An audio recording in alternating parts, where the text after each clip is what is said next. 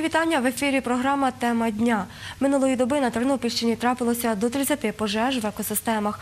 Про це піде мова далі. І поряд зі мною прес-офіцер обласного управління Державної служби з надзвичайних ситуацій Ірина Крупа та начальник управління екології та природних ресурсів облдержадміністрації Орест Сінгалевич. Вітаю вас. Доброго дня. Насамперед хочемо дізнатися, що ж трапилося минулої доби на Тернопільщині і з чим пов'язана саме така кількість пожеж в екосистемах. Насправді проблематика пожеж в екосистемах не нова. Щороку ми з нею стикаємося в е, весняний період, коли настає тепло, настає суха е, погода жарка, починають горіти трави, е, суха рослинність.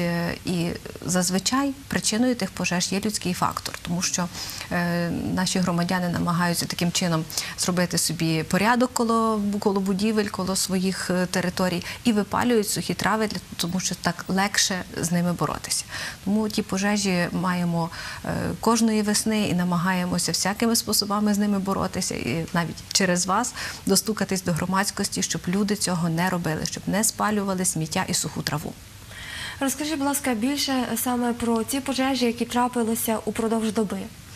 Впродовж минулої доби ми зафіксували 27 пожеж в екосистемах. Тобто рятувальники е, цілодобово працювали над їхнім гасінням. Е, і ну, такою специфікою цих пожеж є те, що вогонь поширюється непередбачувано в різні боки. Е, Це загрожує перекиданням вогню на житлові будинки, на автозаправні станції, на інші об'єкти. Тому загроза існує велика. Нищаться великі площі земель. Насправді про екологічний аспект розкаже мій колега, тому що е, земля дуже страдає. Про це він вже розкаже докладніше. Е, Забруднюється е, крім ґрунту повітря, і люди, які страждають на е, захворювання дихальної системи чи серцево-судинної системи, вони відчувають це. І хто має астму, хто має подібні проблеми, це для них так само є дуже небезпечно. Зокрема, е, і в минулому році, і в цьому ви знаєте, всі знають, яка проблема поблизу села Біла, коли там значна задимленість не дає людям вийти на вулицю. Там дійсно там випалюють очерети, і вчора вже теж горіли там очерети. Тобто така, така проблематика існує. Якщо зупинитись більше над, е, над загрозами, які можуть принести пожежі в екосистемах, то е, я би назвала загрозою перекидання вогню на торфовища. Е, фактично на Тернопільщині торфи. е, так, такої, такої проблеми раніше не було, оскільки ґрунтові води залягали високо і торфи були залиті. Е, пару років тому ми мали таку значну посуху, е, води відійшли нижче, торфи прос- просушилися, оголилися. І найбільшу кількість пожеж ми відмітили в 2016 році. Торфовища горіли тижнями. Це складні пожежі, е, коли е, прогорання йде всередину, зверху не завжди годин визначити межі тої пожежі. І е, щоб її погасити, доводиться затратити багато енергетичних ресурсів, багато автомобілів пожежних, особового складу. Це фактично за затратами це найдорожчі пожежі, пожежі які мають бути, можуть бути. Е, Тому, випалюючи траву, люди повинні пам'ятати, що якщо вогонь розповсюдиться неконтрольовано, якщо займеться торфовище, то буде своєрідна катастрофа. Пане Оресте, хочемо і від вас почути про небезпеку пожеж в екосистемах. Взагалі пожежі, особливо техногенного характеру, завдають дуже великої шкоди екологічним системам різним.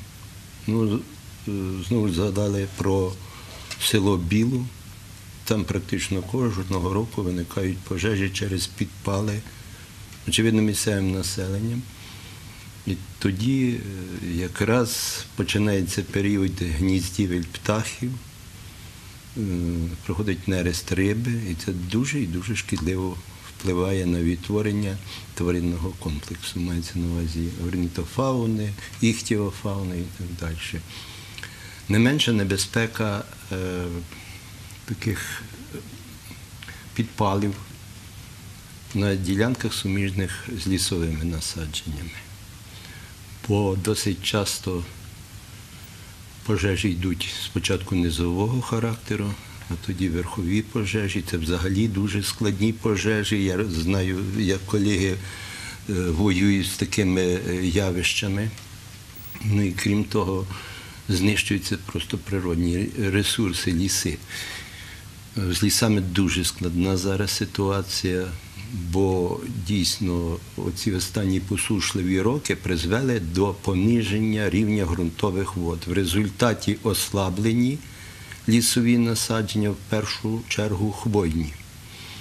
І тоді невеликий вогник, і пожежа поширюється катастрофічно по лісових угіддях, е, висохлі е, дерева це фактично як порох у бочці, надзвичайно сильно горять.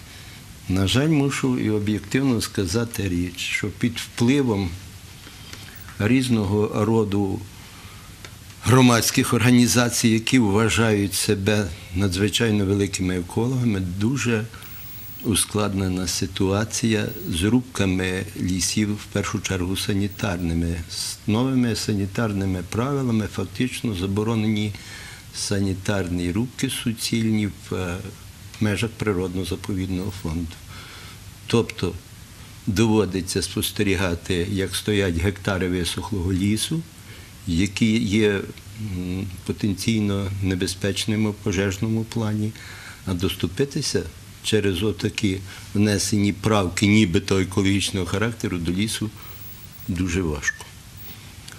Е, Ну і зрозуміло, це стосується також і степових ділянок. У нас багато є заповіданих степових ділянок, де утворюється так званий войлок внаслідок е, відмирання рослин.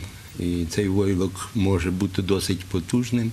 Знову ж таки, маленький вогник і все вигорає. Вигорає в першу чергу корисна ентомофауна, тобто комахи, які є запилювачем тих же сільськогосподарських культур.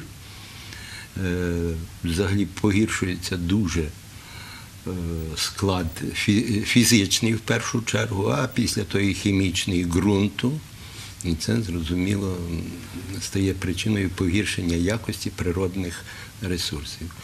І що найгірше, що напевно в переважній більшості випадків причиною отаких страшних явищ стають наші дії наших людей.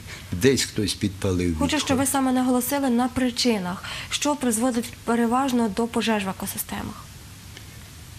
людська діяльність в першу чергу. Необдумана. Хтось випалює рослинні рештки, хтось просто біля хати палить сміття і вогонь під впливом вітру поширюється надзвичайно сильно. В результаті тратяться великі державні кошти. Наші колеги тільки і працюють на, е, пальне для автомобілів. А з іншого боку, на сьогоднішній день законодавство передбачає, що складати протоколи про правопорушення в першу чергу адміністративні мають право тільки державні інспектори Державної екологічної інспекції, а їх зовсім і зовсім мало в області. Мені не зрозуміло, чому до сьогоднішнього дня законодавець не дав повноважень працівникам ДСНС на складення бодай протоколів, якщо не на розгляд вже самих адміністративних справ. Чому сьогодні поліцейські не мають права складати протоколи за тими статтями? Ну та й слід відмітити ще одне до сьогоднішнього дня. До смішного малі адміністративні штрафи за такі правопорушення. Які вони? Ось, скажімо, на громадянина можна накласти стягнення в розмірі 340 гривень всього на. На посадову особу від 850 до 1200 гривень. Інша річ, як таке правопорушення, вчинене в, на території природно-заповідного фонду, тоді вже є методика обрахунку збитків після нарахування цих збитків може виявитися, що е, шкода завдана в розмірі десятків тисяч гривень, а то й сотень, от тоді вже й наступає кримінальна відповідальність. Але знову ж е, встановити правопорушника, І довести, правда, і що це він зробив. довести, так, навіть взявши його за руку, дуже важко. А чи застосовуються штрафи загалом на Тернопільщині за спалювання природних залишків, за спалювання трави? Чи практикується таке наразі? Так, практикується. Я знаю, що працівниками інспекції виявляються такі правопорушення, і це досить, е, скажімо, велика кількість штрафів. Зараз внесено законопроект Верховну Раду, яким передбачено, що за вчинення таких правопорушень нестимуть відповідальність е, користувачі земельних ділянок. Бо не секрет, що дуже багато орендарів отих паїв приватних спалюють або дають вказівку спалювати пожнивні рештки. Е, десь буряном заросло, випалити земельну ділянку. І було б дуже добре, якби ті користувачі самі несли відповідальність за стан протипожежний оцієї земельної ділянки. Бо чому сьогодні порушення е, протипожежних правил, скажімо, в приміщенні карається законом, а порушення протипожежних правил е, на земельній ділянці ні. Я думаю, що до цього наш законодавець дійде і будуть внесені відповідні правопорушення, бо то дійсно е, масові, дуже небезпечні явища. Є, спостерігаються по всій Україні. Це ж телебачення постійно показує тільки весна або восени, зразу ж сюжети зі всієї України йдуть, в тому числі з Чорнобильської зони. Чим небезпечне і чим шкідливе спалювання природних залишків для ґрунту? Ну, в першу чергу е, мікрофауна гине там. І, власне, оці найпростіші організми, черв'яки, комашки, які формують структуру ґрунту, випалюються, і ґрунт перетворюється, даруйте, в цемент, в ну, бетон вірніше. І щоб відтворився цей компонент, який підтримує родючість ґрунтів, то потрібні роки. Тому мені дивно, чому самі господарі на своїх ділянках застосовують такий метод. Вони самі погіршують якість свого ґрунту, який вони будуть обробляти з року у рік через необізнаність, через недостатність інформації. Але, але це дуже небезпечна така тенденція, тому що фактично ґрунт це основне наше багатство нашої країни. Дійсно, ви розумієте, дуже багато на присадибних ділянках, на городах людей спалюють пожнивні рештки, і в тому числі і вже на весну. Е, е, В зв'язку з тим, що використовується збиральна техніка недосконала, що знімають з комбайнів е, оці подрібнювачі, і, іскрогасники і подрібнювачі соломи, бо виявляється, тоді витрати пального більше йдуть. Тому я раз навіть так вносив таку пропозицію, аби заборонити без подрібнення соломи Збирати врожай. збирати врожай. Бо, власне, подрібнити солому це просто зразу ж е, утворення органіки, органічного добрива, бо перегниває та січка, і вона тільки підвищує врожайність. А як е, що випалити, це пустити в повітря всі е, отруйні речовини і не надто отруйні, і люди надихаються цим всім. І, і з ґрунту. Як Що це- порадити господарникам? Е, Що робити саме ось з цими невикористаними природними залишками після жнивними? Що робити, щоб не нанести шкоди навколишньому середовищу? Е, ну, для фермерів, для орендарів, які використовують порівняно великі площі сільгоспугідь, то тільки один вихід. Це е, обладнання зернозбиральної чи іншої техніки подрібнювачами пожнивних решток, ну, соломи. А на присадибних ділянках все-таки ширше використовувати компостування. Скидати все в яму, присипати ґрунтом, через рік-півтора перегниє все і успішно вивезти на той же город. Так як гній вивозять, так і це і прекрасна е, Добриво. річ.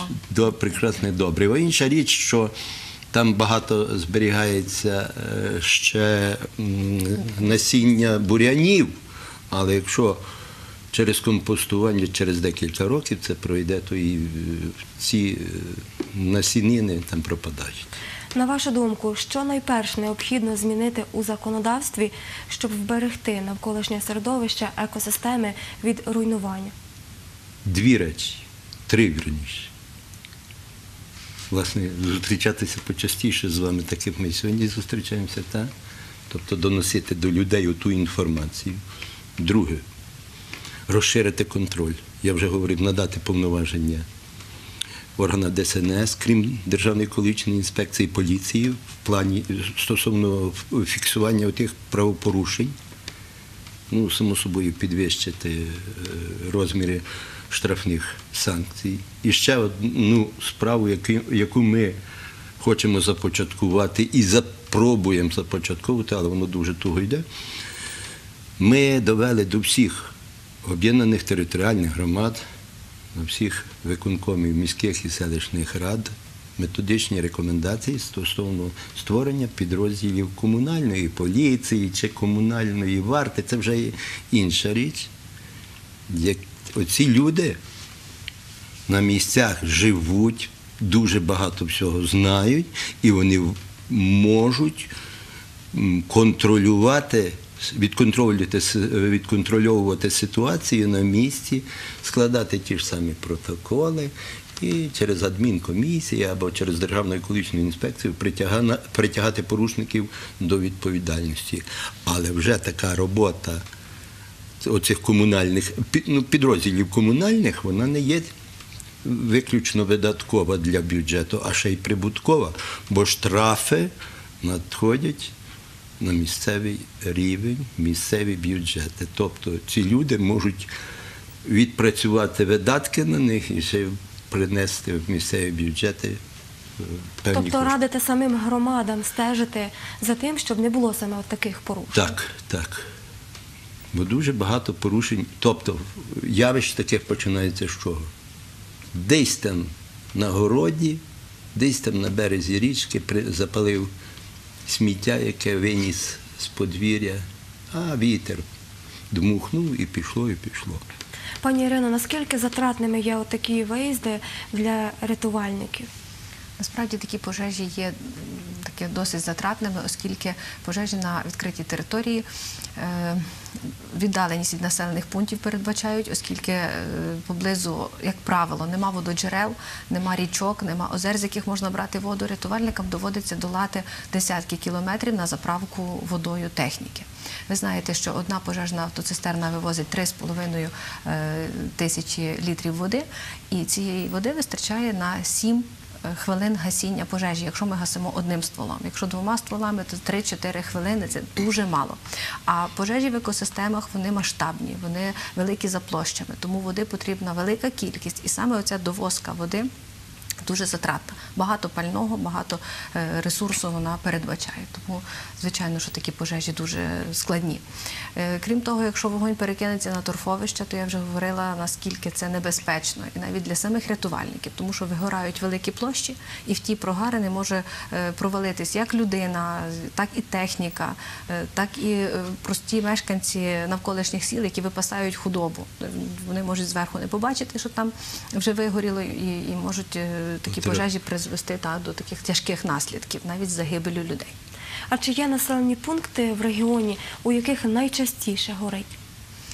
Е, у всіх населених пунктах горить. Зокрема, 24, 27 пожеж е, на, за минулу добу. І на Бережанщині два рази виникали такі пожежі. І Підволочиський район, і Кременецький маємо два рази. Тернопільський район два рази виїжджали рятувальники. Е, І в Байківці, і в село Курники, і Кременеччина, і Збаращина, і Теребовлянщина. Тобто немає району, який би був не вражений е, пожежами на відкритих територіях. Особливо зараз, такий період, дуже, дуже актуально. Інша річ, що напевно потенційна небезпека в різних районах різна. Скажімо, е, от Кременеччина, Шумщина для нас е, завжди дуже небезпечні хвойні ліси і торфи. Оці ж торфи на Шумщині поширені.